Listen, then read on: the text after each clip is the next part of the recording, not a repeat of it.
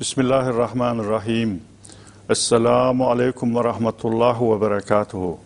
Sevgili seyirciler, Ahmediya Türk Masası'nın Almanya e, cemaatinde Ahmediya'ya tabi olan Türk kardeşlerle birlikte Mürebbi Raşit Baktürk Bey'in refakatında hazırlayıp sunduğumuz yeni bir dini programda daha sizlerle beraberiz. allah Teala'ya hamdü senalar olsun. Sevgili Peygamberimiz sallallahu aleyhi ve selleme salavatı selam olsun. Bu hizmetleri bizlere nasip ettiği için. Bugün de yine muhterem Murabi Raşit Baktürk Bey benim misafirim özür dilerim. Efendim hoş geldiniz. Hoş bulduk. Sizlerle bugünkü programımızda yine İsa Aleyhisselam üzerine konuşmaya devam edeceğiz efendim.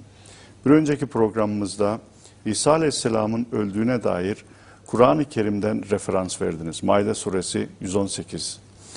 Biz o ayette Maide suresinin 118. ayetinde teveffi kelimesini de okuyoruz. Şimdi bu programda siz bize lütfen açıklar mısınız? Teveffi kelimesi gerçek anlamda ne manaya geliyor? Bismillahirrahmanirrahim. Teveffi kelimesinin manası açık. Biz her gün Türkçe'de de konuşurken başka bazı İslam ülkelerin dillerinde de vefat kelimesini kullanıyoruz. Evet. Tevaffi vefat.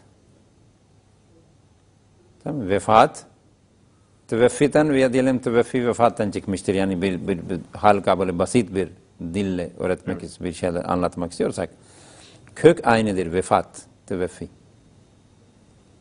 Düşününce biraz Çok, hemen de görüyor insan evet. yani teveffi, vefat yaklaşık. Eski kitaplara siz baktığınız zaman İslam literatüründe basılan eski kitaplara baktığınız zaman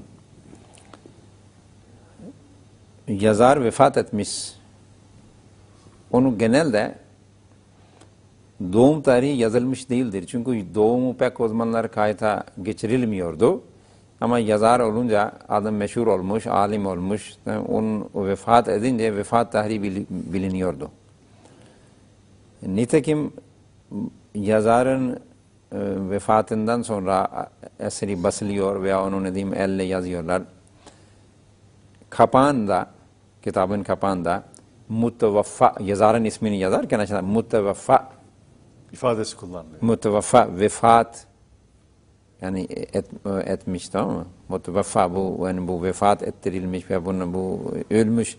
Ölüm tarihi verilir, verilir mutevaffa. Evet. Mesela Mehmet mutevaffa yani Mehmet şu tarihte bunun Vefat ölümü etmiştir. var, vefatı var. Evet. Bu çok açık. Böyle bunun e, çok fazla e, ne diyeyim e, e, öyle bir derin bir konu değil ki insan densin biz anlayamıyoruz. Anlaşılıyor. Çok rahat anlaşılıyor ama inat olunca anlaşılmıyor. İnat olunca hiç anlaşılmıyor. E, ben e, Türkiye'deyken rahmetli e, kayınbabam tabii benden böyle şeyler dinliyor. Ama çocukluğundan beri duyduklar başka. Bir gün beni çağırdı. Evine çağırdı.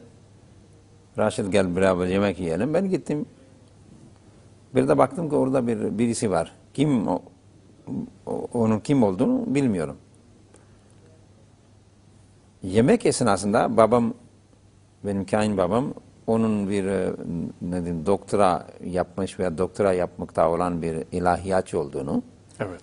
ve hemşehri olduklarını ve Diyanet camilerinde bilmiyorum ne, Diyanet'te bir görevi vardı. İsmini şimdi ben unuttum, yanlış söylemeyeyim. Onu beni böyle bu şekilde o bizi tanıştırdı. Benimden de bahsetti, ondan da bahsetti. Evet. Benimle de bahsetti ve sonra e, bizim bu tartışmalarımızın arasında geçen konular, konuşmalarımız arasında geçen konulardan bir tanesi de İsa Aleyhisselatü Vesselam'ın vefat oldu. Evet. Benim, bizim kain babamız e, Gündüz dediğim Fatih İlkokulu müdürüydü. Yorgun argın gelirdi, çabuk uyuklamaya başlardı ama o gece, bütün gece bizimle oturdu. Maşallah. Şimdi tabi bana sonradan kain babam söyledi. Kain babam ona demiş ki ya bu Raşid'in söyledikleri hiçbir şeye cevap getiremedin. Daha sonra onunla Daha ona konuşuyor. tabii benim yanında bir şey demiyor. o. Evet. O daha sonra demiş ki ya sen ben seni çağırdım. Sen hiçbir şeye cevap getiremedin. Üçüncü kişi olarak ben dinliyordum ama sen bir cevap getiremedin. O demiş ki efendim şu Kadiyaniler var ya Kadiyaniler. Bunlar adımlarını Kur'an'ı çok iyi öğretirler. Evet. Şimdi Hikayenin babamın dediğine göre demiş ki sen aynı Kur'an okuyarak doktora yaptın. O da aynı Kur'an okudu. Eğer sen doktora yapmana rağmen veya bu kadar tahsil görmene rağmen Kur'an'ı anlayamadıysan veya sen iyi öğrenemediysen ve onlar daha iyi anladılarsa o zaman onlar doğrudurlar. Bu hoca efendim birkaç gün sonra Mısır'dan tahsil görmüş olan bir muftuyu bana getirdi. Benim evime getirdi. Evet. Daha büyük bir alimi. Daha büyük bir alim. Şimdi teveffi kelimesiyle bu hikayeyi niye anlatıyorum? Aslında Mesih-i Maud Aleyhisselatü Vesselam'ın bir, bir meydan okuması var. Teveffi kelimenin manasıyla ilgili. Mucizesi var ya. Evet. Mesih-i Maud Aleyhisselam vaat edilen Mesih Aleyhisselatü Vesselam diyor ki benim diyor eğer e, Allahu Teala eğer bir kimse için, bir insan için bunu İzale Evham isimli kitabında İzale Evham Mesih-i Aleyhisselam vaat edilen Mesih'in bir kitaptır. Orada birçok birçok konu tartışılmış ama İsa Aleyhisselatü Vesselam'ın vefatı da tartışılmış. Evet. Ve tabii ki o zaman hocalar, o devrin mollalar vaat edilen Mesih Aleyhisselatü Vesselam'ı İsa'nın vefatını ilan ettiğinden dolayı kafir ilan ettiler. Kafir ilan ettiler. Her neyse konudan konuya geçmeyelim. Ee, ve Mesih-i Maud Aleyhisselatü Vesselam vaat edilen Mesih Aleyhisselatü Vesselam dedi ki Allahu Teala eğer bir insan için, bir zi ruh için, ruhu taşıyan bir insan için teveffi kelimesini kullandıysa, Arapça dil, Arapça yaratıldığından beri, Arapça dili ortadan, Arapça ortadan çıktığından Ortaya beri, çıktığı günden beri, Evet, çok evet. günden beri, Allahu Teala eğer bir zi ruh, bir insan için bu kelimeyi kullandıysa, bunun ruhun kabzı haricinde, ruh alma haricinde ikinci manası yok. Teveffi kelimesi ölümdür He. diyor e, ha, Efendimiz. bunun ikinci manası yok dedi. Evet. Tamam. Bedenen bir kişinin yukarılara alınması hiç mümkün değil. Eğer dedi birisi bana bunun baş bir mana Arapça literatüründen, hadisten, Kur'an'dan, şiirden, edepten bana gösterirse eğer, ben ona bin rupi ödül vereceğim. Evet.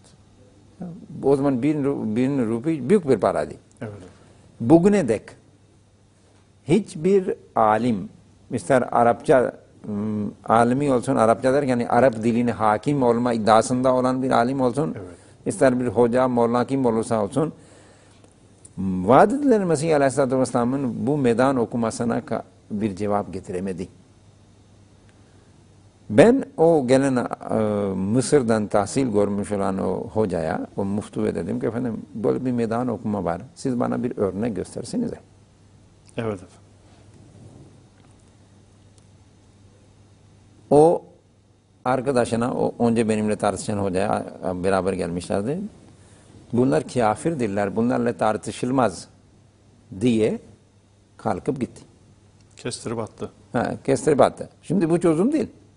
Değildir. Yani bu bir acizliktir. Bu ne diyeyim e, e, cevap e, veya delil getirmemelerinden kaynaklanan bir a, acizdir ve Vadilen Mesih Aleyhisselatü Vesselam'a allah Teala o zaman bir tezkiretü şehadeten bir kitap yazdı Vadilen Mesih Aleyhisselatü Vesselam. Orada dedi ki Ey milletler benim dediklerimi sandıklara saklayın. Ben bunu yazıyorum. Saklayın sandıklara. Bu nesil ölecek. Bundan sonraki ölecek. Bundan sonraki de ölecek. Ve hiçbir nesil İsa aleyhissalatü vesselam'ı gökten inerken görmeyecek. Evet. Hatta diyor yavaş yavaş dünyanın rengi değişecek.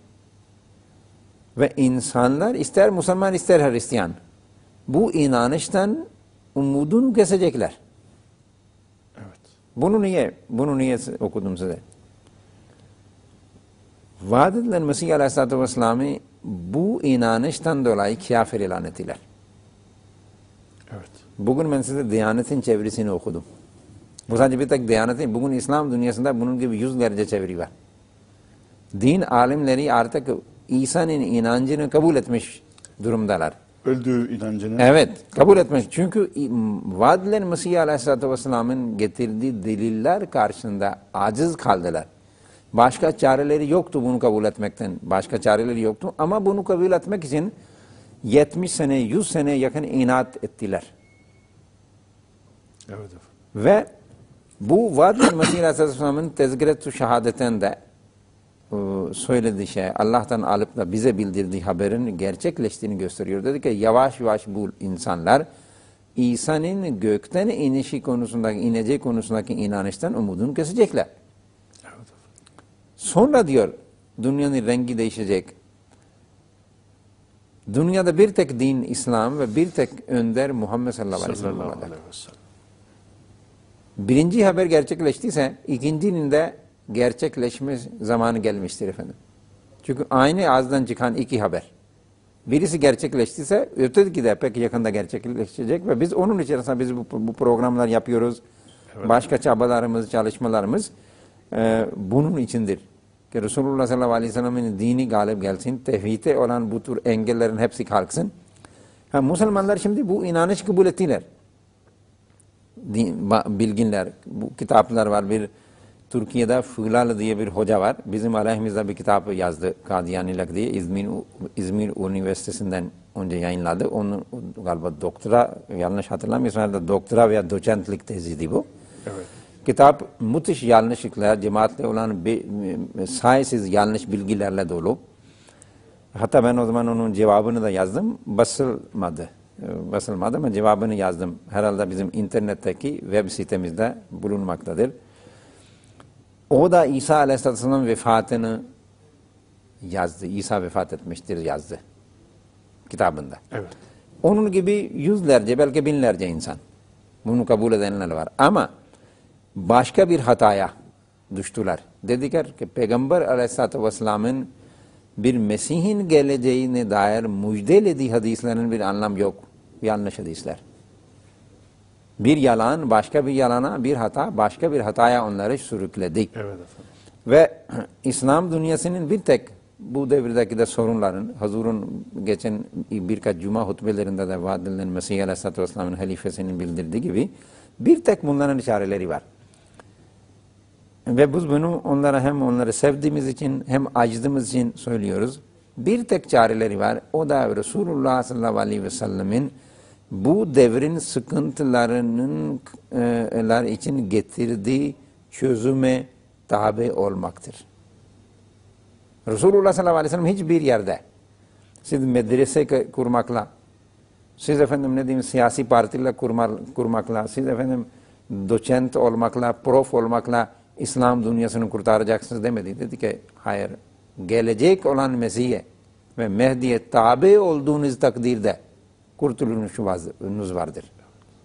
Tamam, biz şimdi İsa Aleyhisselam vefatı bunun için önemli. Evet efendim. Bu onun için önemli. Biz şey teveffi kelimesinden bahsediyorduk. Kur'an-ı Kerim'in efendim 23 yerinde teveffi kelimesi geçer. Bir tek bu ayette geçmiş değil. 23 defa tekrar ediyor Allah. 23 kere. İki defa İsa Aleyhisselatü Vesselam'la ilgilidir. 21 kere başka kimselerle ilgilidir. Biz bir kelimenin manasını, Kur'an-ı Kerim bu kelimeyi hangi manada çıkarıyor, kullanıyor diye bunu öğrenmek istiyorsak, Kur'an-ı Kerim o kelimeyi hangi ayetlerde kullandıysa, o ayetleri ne diyeyim, hepsini tarayalım, beraberce koyalım. Onu koyduğunuz zaman rahat ha Kur'an-ı Kerim demek ki Kur'an-ı Kerim bu kelimeyi şu anlamda kullanıyor. Evet. Tamam, bu rahatça anlaşılır. Anlaşılabilir. Anlaşılır. Mesela salat kelimesi var. Namaz bizim bizim namaz. Araplar bunu bu manada kullanmıyorlardı ki. Salat kelimesinin Kur'an-ı Kerim bir bizim bu şu anki namaz manasında kullandı. Evet. Evet. Kafir kelimesi var. Kafir kelimesi bu mananın manası kök e, itibariyle başka ama Kur'an-ı Kerim bunu kullanırken inançsızlık manasında kullandı. Ve Buna benzer başka bazı kelimeler diyebiliriz. Şimdi teveffi kelimelerini biz bir araya getirdiğimiz zaman mollalar veya hocalar veya Arapça bilenlerin, bilenlerin hepsi ve Kur'an-ı Kerim çevirenlerin hiçbirisi hiçbir yerde teveffi kelimesini ölüm harici başka bir manada kullanmıyor. Ölüm olarak tercüme ediyorlar. Evet. İsa Aleyhisselatü Vesselam söz konusu olduğu zaman çeviriyi değiştiriyorlar. Bu ne demektir efendim? Bir kelimenin çevresini ne zaman değiştirebiliriz? Cins değiştiği zaman. Bir kelime hem insan için kullanıyor, aynı kelimesini Allah için kullanıyoruz. O zaman manası tabii ki değişecek. Mesela allah Teala Kur'an-ı Kerim'de diyor ben e, e, ne diyeyim, teşekkür edenim diyelim. İnsan da teşekkür eder ama Allah'ın teşekkür etmesi bizim gibi değil. Allah'ın teşekkürü başka şekildedir. Yani o bizim yaptığımızı değersiz bırakmaz, ona önem verir vesaire diye. Bu onun teşekkür etmesidir. Evet. Ama bizim teşekkür etmemiz başka şekildedir. Biz de dinliyoruz. Allahu Teala ben işitirim derken efendim bizim gibi işitiyor desek yanlış olur. Evet. Tamam. Orada değişir çünkü cins değişti. Peki neden efendim bütün peygamberler, insanlar, evliyalar hepsi için bu kelimenin bir tek manasını yaparlarken, bir, bir tek mana bu kelimeyi yüklerken İsa Aleyhisselatü Vesselam söz konusu olduğu zaman bunun manasını değiştiriyorlar. Bizim aklımız bunu almıyor. O zaman, o zaman haşa ve haşa Hristiyanlıkla, Hristiyanların dediği doğru. İsa insanlar ve peygamberler ustu bir varlıktır. Başka bir cinstir. Dur, böyleyse, inanışınız böyleyse o zaman bunu açıkça söyleyin diye. Evet efendim biz de böyle inanıyoruz. Onun için biz bunun manasını değiştiriyoruz. Evet. Yoksa neden? Bu büyük bir sorudur efendim. Soru işaretidir. Neden? Her yerde, hadislerde, Kur'an-ı Kerim'de teveffinin manasını ölüm olarak siz yaparken, bu teveffi kelimesini ölüm manasını yüklerken İsa Aleyhisselatü Vesselam olduğu zaman bunu siz başka, başka bir mana göğe çıkarıldı, bilmiyorum ne manalar ona yüklemeye çalışıyorlar. İbni Abbas Hazretleri'nin Buhari'de bu ayeti açıklarken Buhari, İmam Buhari Hazretleri büyük hadis imamlarındandır. O bu ayet-i kerimesinin de geçen bu ayet-i kerimesinde geçen, geçen teveffi kelimesini açıklarken İbni Abbas Hazretlerinden radıyallahu teala anhudan e, bir rivayet ve onun sözünü getiriyor. Diyor ki وَقَالَ ابْنُ عَبَّاسٍ مُتَوَفِّيكَ مُمِيتُكَ İbni Abbas diyor ki Evet. Mutevaffikanın manası seni vefat ettireceğim. Teveffi kelimesinin manasını ölümdür. Evet.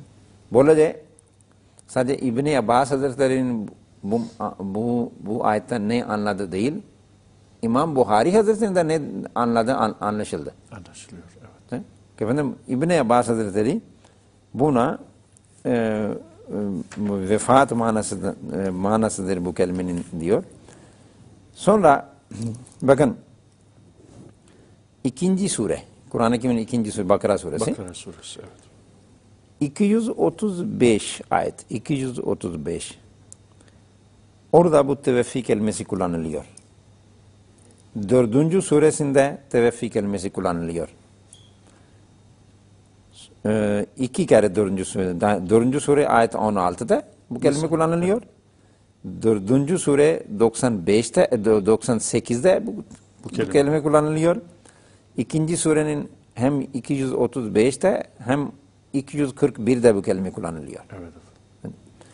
Sonra efendim 3. suresinin 194. ayet-i kerimesinde bu kelime kullanılıyor. Mesela biz meşhurdur. Allah Teala diyor ki müminler dua ederler ve tevaffana ma'al ebrar. Ey Allah bize iyi sayanlar arasından, arasından teveffiyet, vefat ettir bize. Bizim canımızı al. Eğer bunun manası göğe çıkmak da, göğe çıkmak ve çıkarılmak ise o zaman manası şu olacak. Ey Allah iyi kimselerle beraber bize de göğe çıkar. Ve bunun ikinci mana o zaman eğer bu mana doğruysa şu böyle bir mana olan e, bu, bu, bu, bu anlam, şu anlama gelecek ki bu ümmet içinde hiç kimse göğe çıkmadığına göre ümmet içinde hiç temiz insan yoktu, iyi insan yoktu.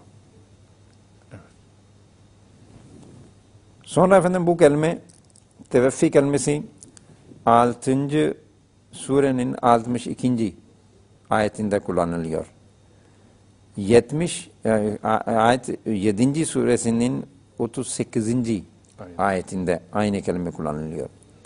Tekrar 7. suresinin 127. ayeti kerimesi bu kelimeyi kullanmaktadır. 10. surenin 47. ayeti. Tekrar 10. surenin 105. ayeti. 12. surenin 102. ayeti. 13. surenin 41. ayeti. 16 sure 16 29 ve 33 ayeti. 16. surenin 71. ayeti. 22. surenin 6. ayeti. 30 suret 32 ayet 12. Sonra sure 39 ayet 43. Sure 40 6 68 ayeti. Tekrar aynı 40. sure 78. ayet. ayet evet. 47. sure 28. ayet. 6. sure 61. ayeti. 8. Ee, sure 51. ayeti. Evet. Şimdi bunların hepsinde teveffi kelimesi efendim kullanılmaktadır. Ben bunu okudum. Arkadaşların hepsi orada referans olarak, referans olarak e, bakabilirler. Ben tabii. bunun fazla tartışmasına girmeyeceğim. Burada e, önlediğim bunu, bu, bunun evet. bunun manası nedir, bunun çevirisi nedir girmeyeceğim. Çünkü çevirisi her yerde aynı. Her yerde. Sadece İsa Aleyhisselatü Vesselam için söz konusu olunca ha, onu değiştiriyorlar. Evet. Ee, diğer yerlerde hep aynı manayı, ölüm vefat manasını, manası, ölüm manasını veriyorlar, bu yüklüyorlar bu kelimeyi.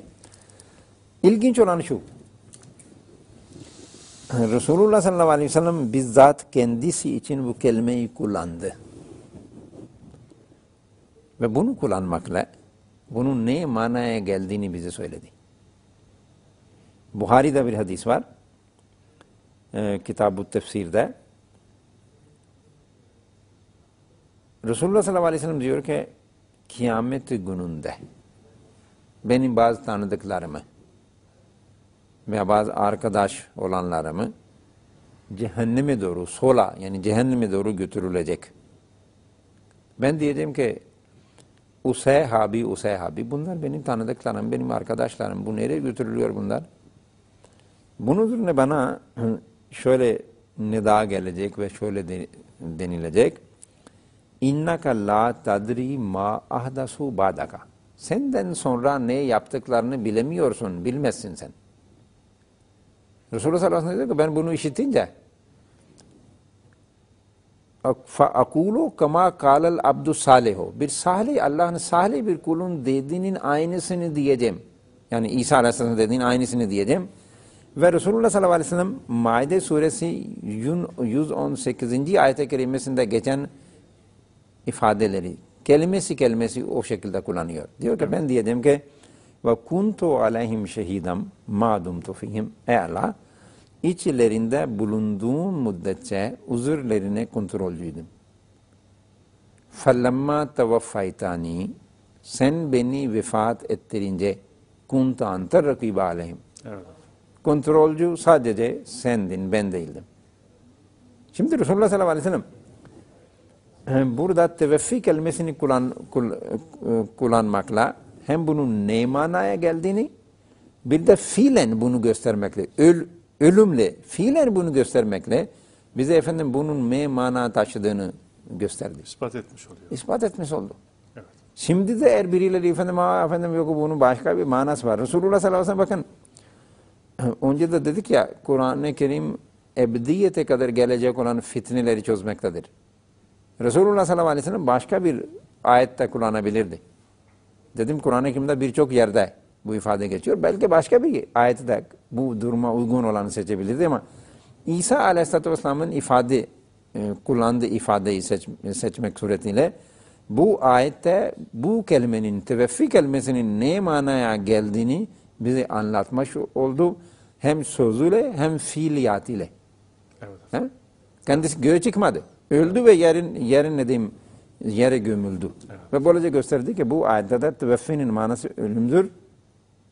Gök, göğe çıkmak değildir.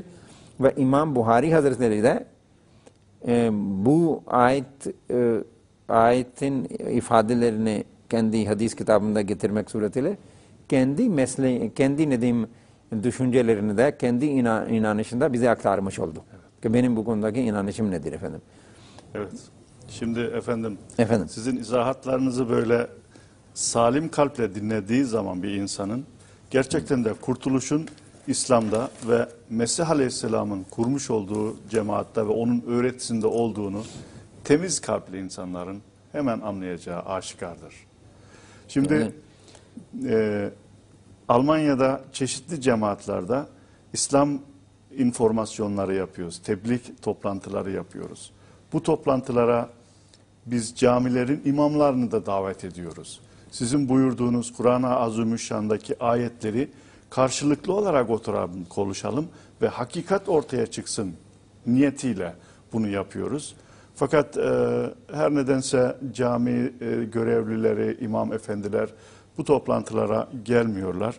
Fakat bu program vesilesiyle ben sevgili seyircilere iletmek istiyorum.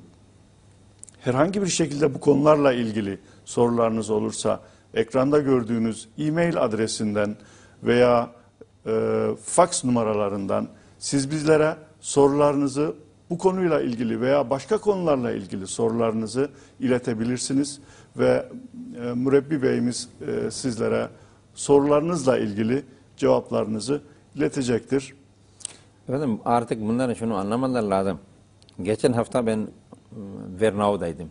Almanya'da Vernau. Şehir, şehir. Şehrin adı Vernau. Evet efendim. Bir genç bir çocuk o Ahmediyetle ilgili bilgi edinmek istiyordu. Bana kendisi dedi. Dedi ki efendim ben bir iki kere hocalarla konuştum. E, sizin kafir olduğunuzu söylediler. Ama sizin adımlarınızla görüştüm. Buraya geliyorum, oturuyorum, bakıyorum. Bunlar bizden daha iyi insanlar. Niye bunlar böyle diyorlar? Şimdi hocalar, hocaların bunu anlamalar lazım. Böyle kesip atmakla bu iş çözülmez. Ahmediyet hızlı bir şekilde dünyada yayılıyor. Elhamdülillah. Allah'ın lütfuyla yayılıyor. Ve bu delil gücüyle yayılıyor. Allah'ın rahmetinden dolayı vaad edilen Mesih Aleyhisselatü Vesselam'a verilen delillerle yayılıyor. Allah-u Teala bir keresinde vaad edilen Mesih Aleyhisselatü Vesselam'a gökten süt indi. Bunu saklayın dedi. Sütten de bilgi. Evet. Bunu, sak bunu saklayın. Biz o bilgiyle insanları ikna etmeye çalışıyoruz. Evet. Vaad edilen Mesih Aleyhisselatü Vesselam'ın cemaatinin o nezih karakteriyle o temizliğiyle biz onlara ikna etmeye çalışıyoruz ve dünya akın akın geliyor. O genç bana şimdi dedi Hollanda'dan dedi birisi bir hoca gelecek dedi bu hafta sonu için dedi yani bugün için. Evet. Gelecek ben dedi ona ona da bu sizin söylediklerinizi ona da soracağım. Ee, ben bu size e, burada konuştuğumuz bilgiler ona da söyledim. Hatta bazı ona belgeler verdim. Dedim ki bir hoca, herhangi bir hoca ne kadar büyük olsun böyle. O bize Kur'an-ı Kerim'den gök gelmesini göstersin. Tamam efendim. Bunu Allah'ın izniyle hiç gösteremezler. Gök kelimesi Kur'an-ı Kerim'de yok. Evet. Tamam mı? Evet. İsa Aleyhisselam'ın başka manası bize göstersinler. Vaad edilen Mesih Aleyhisselam'ın o, o medan okumasına biz şimdi de sahip sahip, sahip evet. çıkıyoruz. Efendim e, süremiz yine bitti. Evet, e, programı kapatmak zorundayım. Sevgili seyirciler e, her zaman olduğu gibi burada da konu e, uzun ama süre yetmedi programı kapatıyorum ama bir başka programda sizlerle beraber olmak üzere sizlere Allah'a emanet ediyorum. Esselamu Aleyküm ve Rahmetullahi ve Berekatuhu.